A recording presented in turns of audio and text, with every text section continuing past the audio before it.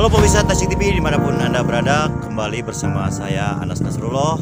Kebetulan sekarang kita berada di desa Dano Tepatnya di Kecamatan Ales, Kabupaten Garut Yang mana eh, di sini kita berada di Kampung Patrol.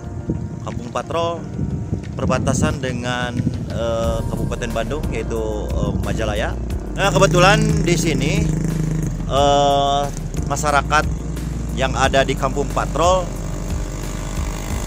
terutama yang bertempat tinggalnya di Patrol itu menginginkan adanya tower ya atau menara BTS untuk eh, sarana komunikasi yang kebetulan di sini belum ada. Jadi eh, kalau HP di sini itu eh, tidak berfungsi untuk di luar karena tidak adanya sinyal. Nah kalau di rumah-rumah yang notabene-nya mempunyai wifi itu bisa. Ah.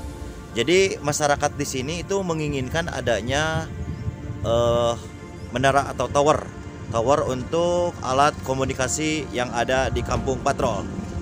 Oke, kita nanti akan eh, kunjungi Desa Dano yang ada di Kecamatan Leles, Kabupaten Garut.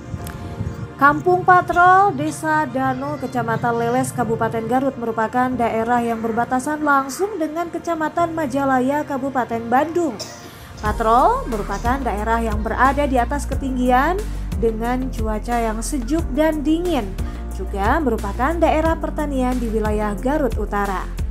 Saat ini masyarakat Kampung Patrol menginginkan dan mengharapkan adanya menara tower BTS di wilayahnya Pasalnya, di daerah sangat sulit untuk mencari sinyal HP sebagai alat komunikasi dan saat ini daerah tersebut hanya mengandalkan wifi rumah saja.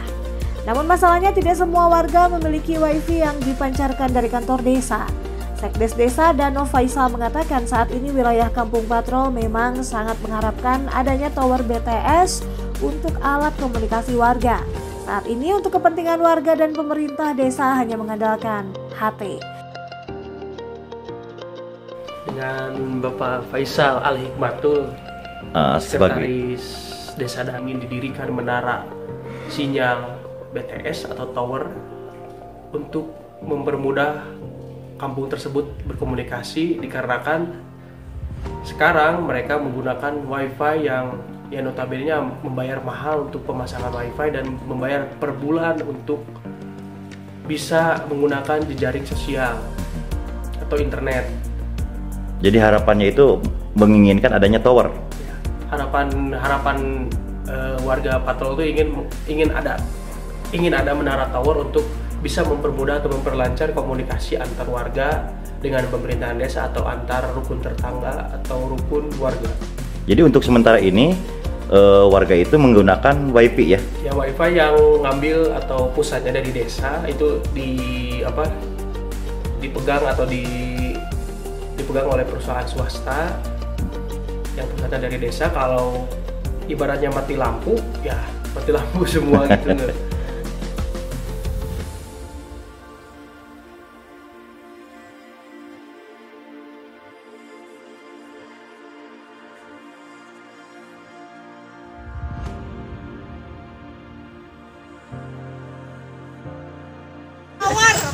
pasang pasang pemancar. Ibu-ibu mungkin bu pasang sinyal pemancar. Oh, Ibu menginginkan adanya tower ya? Iya.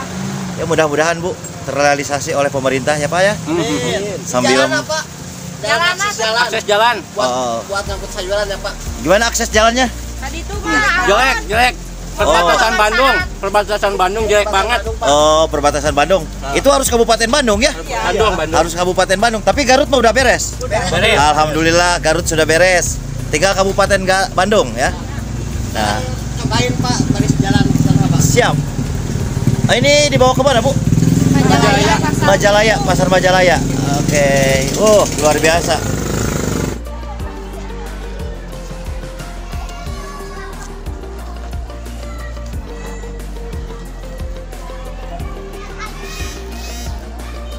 Oke demikian pemirsa perjalanan kami dari uh, wilayah patrol Desa Dano dari Garut, Anas Nasrullah mengabarkan Assalamualaikum warahmatullahi wabarakatuh.